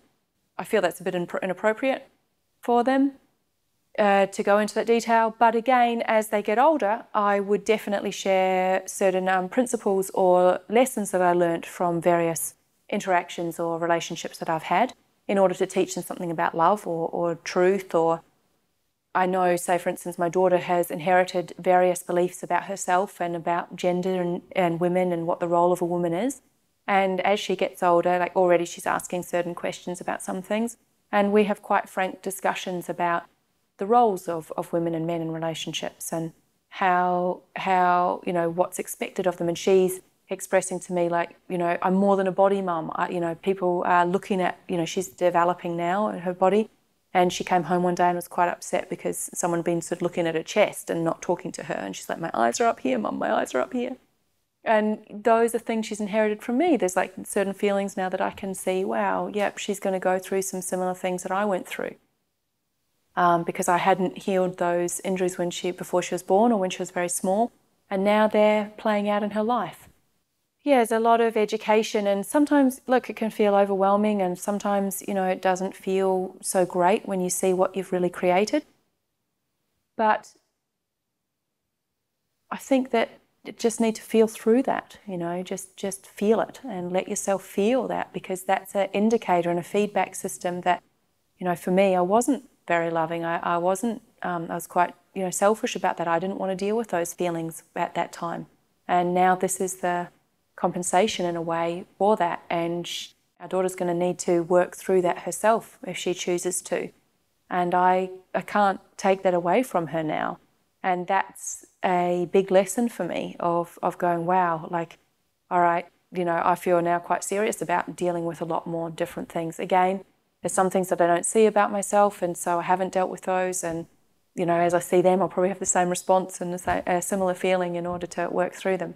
But the more that we can work through, and you know, simultaneously as we have young children or before we have children, it's you know, it's wonderful. And as I was saying, you know, be aware, having sex, you know, have a baby. Are you up for that responsibility? It is a responsibility of both parties.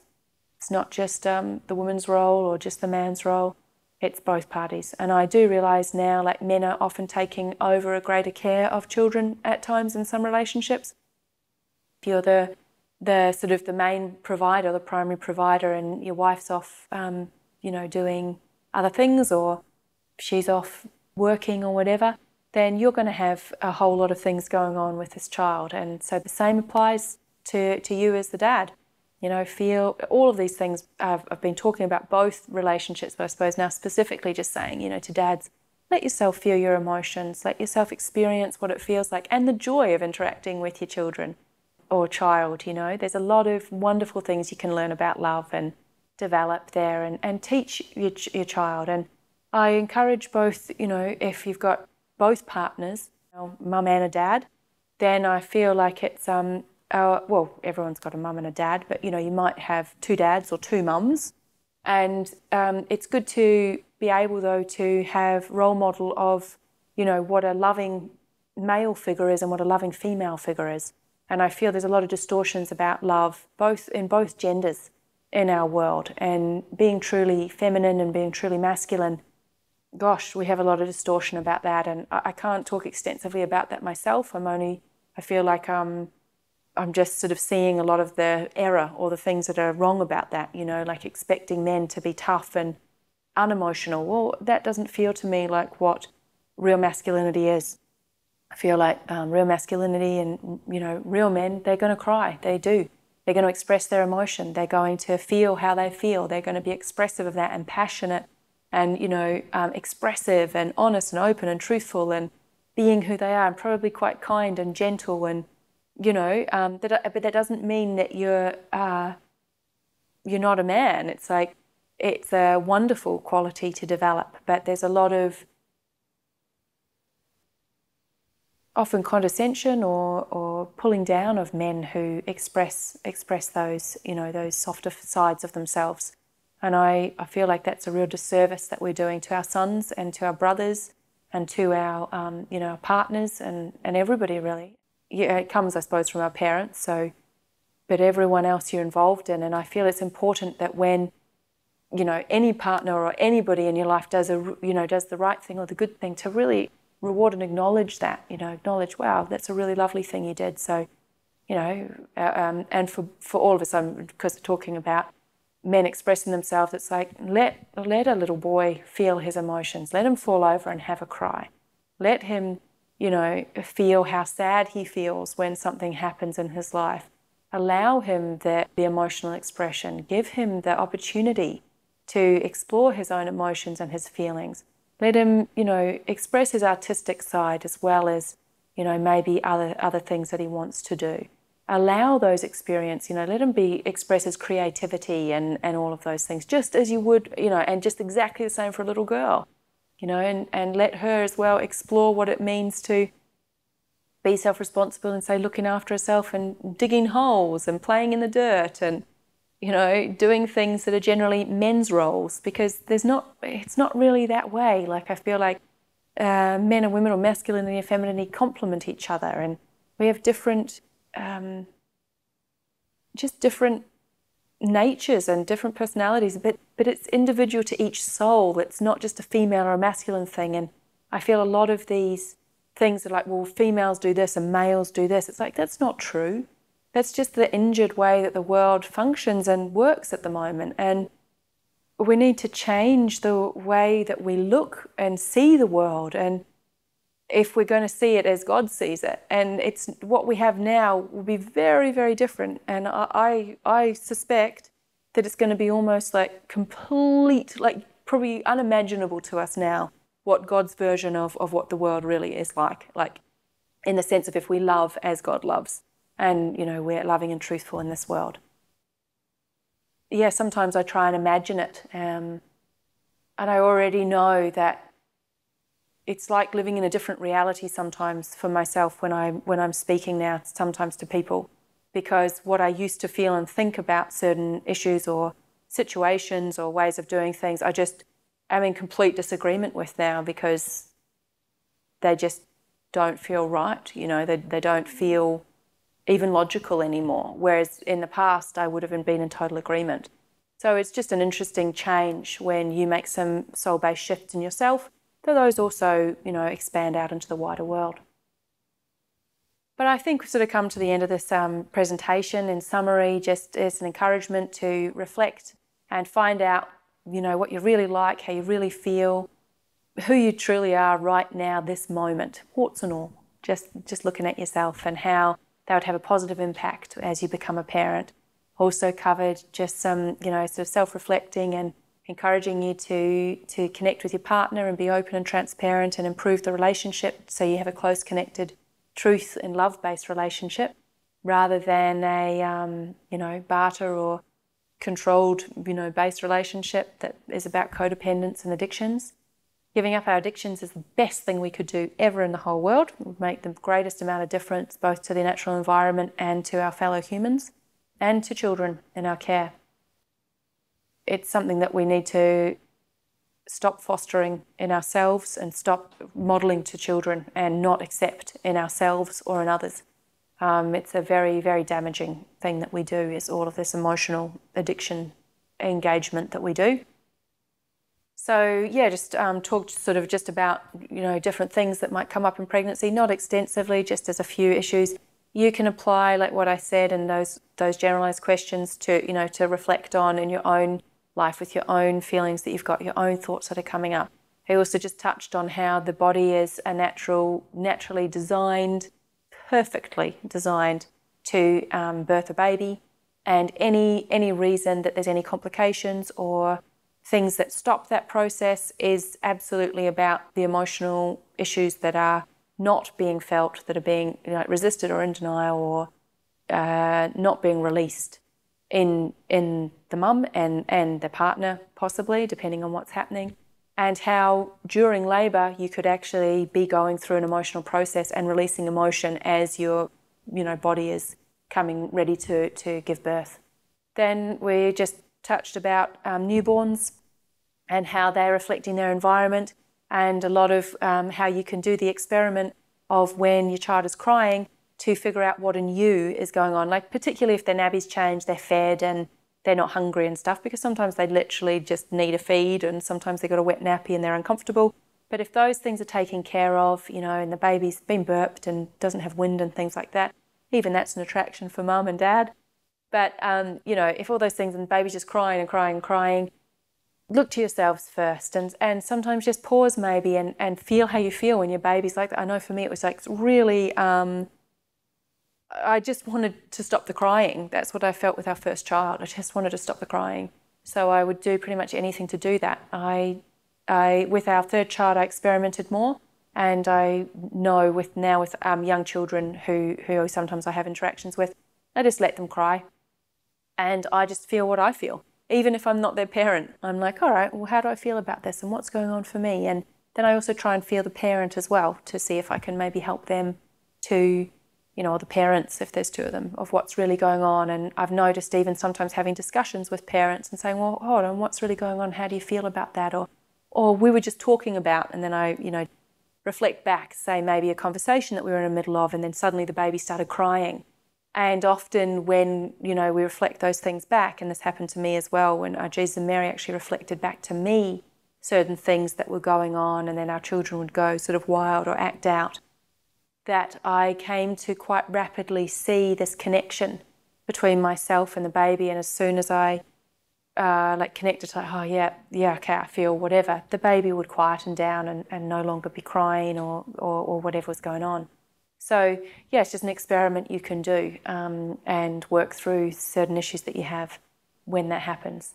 So, and then we also just talked about any um, physical things that you're having. So, if you've got any issues breastfeeding or different things going on in your body or um, you know or your child has any illnesses or ailments or things how there's an attraction as well for the parent to deal with an issue as well um, to see how they are responsible for that creation in the child particularly as a little newborn.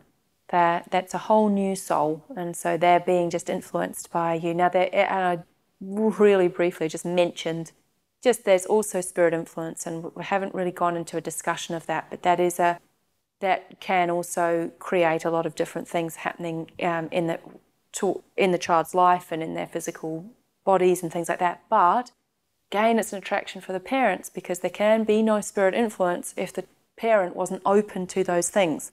And if a parent isn't open to spirit influence, then their child is also protected from spirit influence. So the same principles apply is it's about you, the parent, dealing with any issues that you have that are out of harmony with love. And the more that you can work through and release and get rid of out of yourself, the better your life is going to be. And your children also are going to have a far more uh, enjoyable experience in their life and far less pain that they have to deal with as they get older or, or even in, in childhood, depending on what your decisions are and what kind of environment you uphold. I realise there's again a lot in that that could be unpacked, and we could have many, many discussions on on uh, pregnancy, birth, and babies. And I think we have some more. I'll, I'll make some more videos in the future. I feel this one's come to uh, a nice time to close on this one. And um, yeah, I suppose lastly, we were just talking sort of about having sex and being, if you have sex, you need to be responsible to have a child. And I think if you have that thought and you think about it, it would uh, cut out some of the people you have sex with because I know that um, in my own experience and with many people I've talked, they're like, yeah, I wouldn't want to have a child with that person. So if you wouldn't have, want to have a child with them, why are you just trying to get a sexual fix? It's not loving to the person you're you're using to to have sex with, and um, it also is highlighting that you know you're you're wanting something without taking full responsibility for it. It's not that you're going to get pregnant every time you have sex, you know, it doesn't happen. Though that's what I did think when I was when I was younger. But you there is that potential. Mm-hmm. And so, you know, we just had I just was mentioning some things about yeah, looking at your relationships and is your relationship just based on sex or is it actually based on something greater than that? Like do you want a friendship with this person and to get to know them and to really understand who they are and find out if they're your soulmate or not. Um, you know, it's damaging for us to go sleeping around with many people when they're not our soulmates, and it damages our own our own soulmate relationship as well as the other other persons who who we're interacting with. Um, that's a whole other discussion, uh, one that I can't speak as an authority on yet. I'm only beginning my process of discovery, so I can only speak to a certain level of um, opening up to having a desire for one soulmate. Anyway, as I said, another subject, and that's going a bit off tangent. So that brings me to the end of this presentation on pregnancy, birth, and babies, um, the introductory presentation. And um, if you are uh, thinking of having a child, or you are pregnant, or you're about to have a baby, or you've got a newborn, I wish you all the best and, and experimenting with those things. And yeah, it's well worth making the effort to become a more loving, truthful parent. And um, applying some of the, the principles that will be in this, this parenting principles resource, you can use those in your everyday life to experiment and trial out what I'm saying, and it will make your experience smoother and more enjoyable um, with your child. Um, yeah, I, I, have some regrets about uh, the way that I parented our first, particularly our first child and first and second child. And, you know, I always feel like I could do better in many, many ways. But just when you focus on love and you get through the period of time where you feel like things are really hard and too much, and you sort of get through the selfishness of, of not dealing with your stuff, uh, then a lot of wonderful, wonderful things can happen. So, all the best with it. Any questions or queries, feel free to contact me, and um, might be some inspiration for some, some other videos based on these topics. For more information on, I know mentioned abortion, miscarriage, and also on there's some extensive, uh, with some videos on parents and children relationships on the Divine Truth website. So that's at divinetruth.com. So for more information, go there. There's also some links to pertinent videos or material that you can recommend watching and viewing that come as a package with this video. So until the next presentation, I wish you all the best and uh, see you then.